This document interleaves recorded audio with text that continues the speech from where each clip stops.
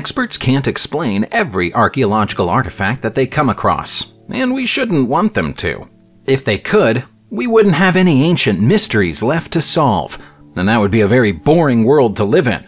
We love a good ancient mystery, and we've got plenty of them for you to consider in this video. Be sure to let us know your thoughts in the comments.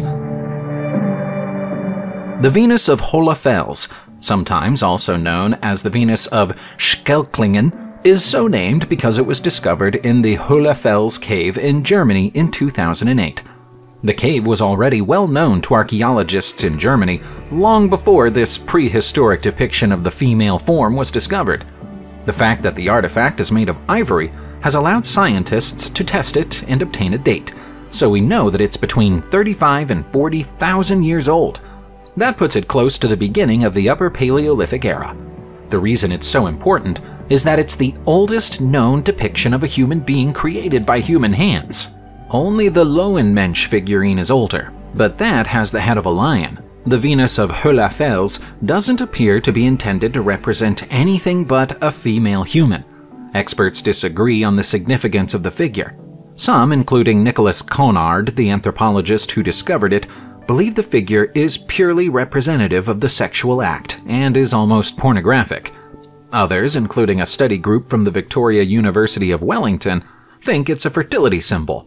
We'll never know the truth because there's no way of reading the intentions of someone who lived and died 40,000 years ago. Having mentioned the Lowenmensch figurine, it would be wrong to move on without addressing it. This is another ancient sculpture that was also found in a German cave. Often known by the simpler title of the Lion Man, the ivory sculpture was discovered inside the cave of Hohlenstein-Stadel in 1939. Carbon dating tests carried out on the layer it was found buried in indicate it to be around 45,000 years old, making it the oldest known artistic, representative sculpture in the world. Like the Venus of Hohle Fels, it's likely to have been created by the Aurignacian culture who lived in this part of Germany during the Upper Paleolithic era. Interpreting the meaning of the figurine is impossible, and even taking guesses at its symbolic meaning is a largely redundant exercise. Experts can't even agree on which gender the sculpture is supposed to be, or even whether it's supposed to have a gender at all. There are ancient cave paintings in France containing figures that look a little like the Lowenmensch figurine, but the resemblance isn't strong enough to say there's a definite link. Our next discovery is a little controversial, but there are some experts who believe we can call it a 100,000 year old art studio. It's Blombos Cave on the south coast of South Africa, not far from Cape Town. Archaeologists who've been combing through the cave in recent years have identified evidence of prehistoric fishing along with sharp stone tools. But they've also found evidence that the cave's interior was used to mix and store red ochre. Experts have found plenty of pieces of ochre, but they've also found shells used as containers for the pigment and bowls used for grinding it. They even think that animal bones and charcoal found elsewhere in the cave might have been mixed with the ochre as part of the process. The ochre might have been used for painting and decoration, or it may even have been used as skin protection. If the theories of the experts are correct, this could have been the very beginning of the human conceptual ability to combine, source, and store substances that assisted their social practices. Even then, though, we won't know why red ochre was so important to so many of our most ancient ancestors all over the planet. Was the Gunstock War Club designed to look like the weapons used by European colonists against Native Americans? That's a question that archaeologists and historians in North America have been struggling with for decades, and they're unlikely to reach a conclusion anytime soon.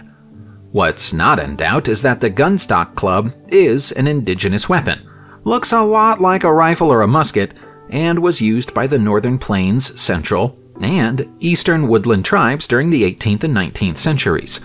The question is where the idea came from. Some evidence suggests they were already in use in Lakota by the end of the 17th century. One idea is that the tribespeople noted how the barrels of rifles and muskets could be used as clubs in battle once they were out of bullets, and so the design was copied. Another theory is that rather than using the weapons against colonists and their descendants, the Native Americans used them in battles against rival tribes, playing on the idea that they might have developed guns of their own and thus striking fear into the hearts of their enemies. Alternatively, perhaps the design is nothing but a coincidence. England has Stonehenge, and it's a wonderful ancient monument. But Spain has an answer to Stonehenge that's 4,000 years old, disappeared completely for more than 60 years, and is now underwater.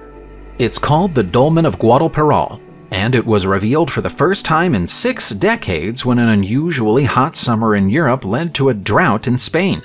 That gave archaeologists a brief chance to fully explore this ancient site, made up of more than 100 granite standing stones. As with all ancient stone circles, its purpose is uncertain. It may have been used as a temple, but other suggestions include the idea that it might have been a burial site or a meeting point for traders. Back when it was built, it would have stood on a riverbank. Unbelievably, it was sunk deliberately during the 20th century during the construction of the Valdecañas Reservoir. Spending decades underwater has cracked the stones, some of which have fallen over since they were last seen. There's a campaign in Spain to have the dolmen protected, but for now, the waters have returned to their normal level, and the site is underwater once more. Our cave dwelling ancient ancestors didn't have a written language, but they did have other ways of making records of their travels and leaving messages behind. Most of the time, these records took the form of rock art, and this recently discovered Amazon rock art in Colombia is some of the most exciting that archaeologists have seen in many years. The paintings, created around 12,000 years ago, show ancient humans and enormous Ice Age animals living side by side. Experts have been able to identify mastodons in the paintings, along with giant sloths, camelids, and three toe ungulates. All of these creatures are now extinct, but they were obviously a common sight in the Colombia of the time and were recorded here in what are some of the oldest depictions of humans interacting with Ice Age creatures in the world. It's taken so long to find the rock art because it's in an extremely remote location. Archaeologists didn't even think anyone had ever lived here before the discovery was made. Now, they have to consider that this region might have been home to western Amazonia's first ever residents. The ice patches of Lendbreen and Langfonn in Norway are melting. Whether you believe that's down to human induced climate change or not is up to you, but you can't deny that it's a problem. However, within that problem is an opportunity for archaeologists, who have been able to recover artifacts that have been stuck in the ice for centuries. One of those artifacts is this 1,300 year old arrow, which is still in near pristine condition. It's in such good condition that there's still a piece of feather fletching attached to it. The arrow was recovered from what's been described as the deepest core of the ice patch, indicating that it might have been fired by hunters who had tracked creatures into the center of the ice sheet, where they sheltered from insects that might have bitten them during the summer months. The projectile end of the arrow is delicately tapered, but the nock end of the arrow was wide enough for us to understand that the bow that fired the weapon was unusually thick. Additionally, traces of the tar that attached the fletching to the shaft are still present. Our knowledge of the craft skills of ancient Norse hunters has been considerably improved by this lone artifact. The crew of the Dutch fishing vessel Vaeringer 22 were performing their regular everyday duties in July 2022 when they caught something unexpected. The shrimp cutter ensnared a strange looking wooden statue, and experts still aren't sure what to make of it. The statue is of the kind that would have sat on the stern of Dutch vessels of the 17th century, but it's in such good condition that it's hard to believe it could be so old. To confuse matters further, the individual depicted by the statue appears to be wearing a Phrygian cap. Caps like this were worn in battle by Phrygian warriors, but those battles occurred more than a thousand years before the 17th century. The caps were important to the Phrygians because they were symbols of overcoming oppression. When Phrygians were enslaved by Romans, they were shaved bald. When they regained their freedom, They wore caps to hide their baldness initially out of shame, but over time, the caps came to represent freedom rather than shame. Experts are fairly sure the sculpture isn't a hoax, but will only know for sure after they've examined it. They can't do that yet, because it needs to undergo preservation work now that it's been removed from the water.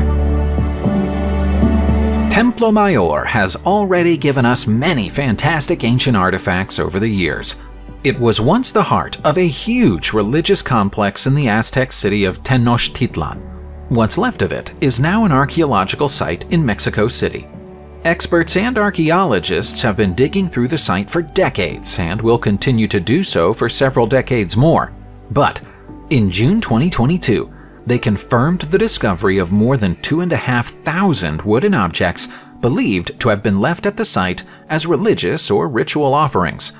There's no set pattern to the objects. They include figurines, headdresses, masks, jars, earrings, and scepters, all of which were probably deposited by priests during the 14th century as a means of consecrating the Templo Mayor to the gods that the Aztecs believed in. It's rare for wooden objects to survive for so many centuries in such good condition. But in the case of these artifacts, it seemed they were preserved by a combination of the high level of humidity in the region and the anaerobic conditions in the soil. Let's head to Israel to look at a supposedly cursed tomb. It's the first new tomb to be discovered in the necropolis of Beit She'arim in more than 60 years. The necropolis is a UNESCO World Heritage Site, so archaeologists have to be careful about when and how they perform excavations here. But even if they follow the rules, they might have cause to regret disturbing this tomb. After all, it has a curse written on its entrance in blood red lettering. Grave robbing was a common problem when this tomb was sealed more than 1,800 years ago. So it seems the family of the occupant or perhaps even the occupant himself, wanted to deter anyone from attempting to steal its contents. The inscription reads, Yaakov Hager vows to curse anyone who would open this grave, so do not open it. I was 60 years old.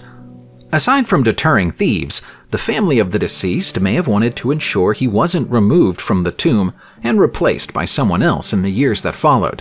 This, too, was a common problem with the burials of the time. Thus far, archaeologists have heeded the warning and left the tomb undisturbed. For all our 21st century advances in medical technology, we still haven't come up with a functioning prosthetic eye device. All we can do if someone loses an eye is give them a ball to fill the socket with, which is exactly the same thing we did almost 5,000 years ago. Here's the proof. It's a prosthetic eye in the skull of a human skeleton that was found in the famous ancient burnt city of Shahr-e-Sokhta in Iran. The fake eyeball in its socket is made from a fairly disgusting sounding mixture of animal fat and tar, which was then painted gold. It's comfortably the oldest prosthetic eye ever discovered.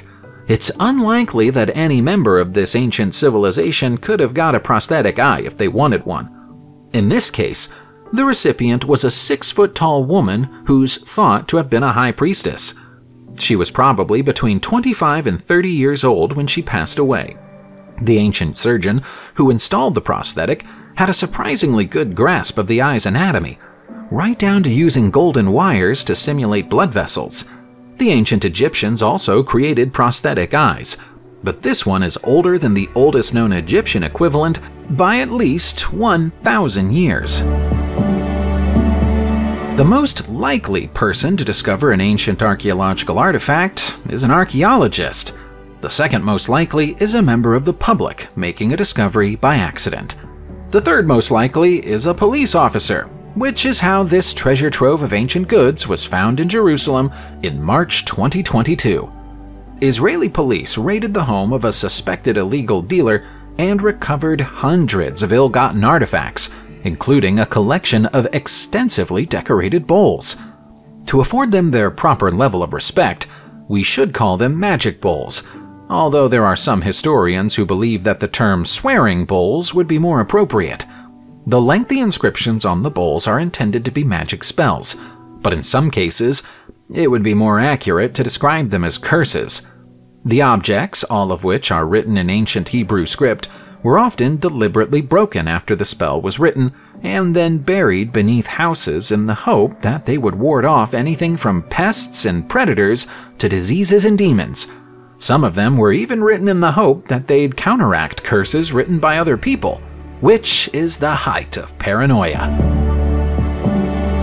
Subscribe to the channel, turn on the notification bell, and enjoy watching new videos on my channel. Thanks for watching and see you soon!